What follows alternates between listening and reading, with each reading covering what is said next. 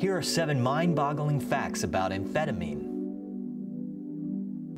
In 1887, amphetamine was first synthesized by the German chemist L. L. Diano. Upon synthesis, the amphetamine produced stimulant effects weren't recognized in its early uses. In the early 1930s, the drug stimulant properties were discovered and used in inhalers for congestion.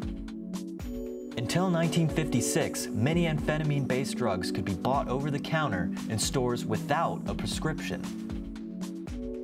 Amphetamine use grew at a rapid rate due to it being readily available and professionals claiming there was no risk for addiction.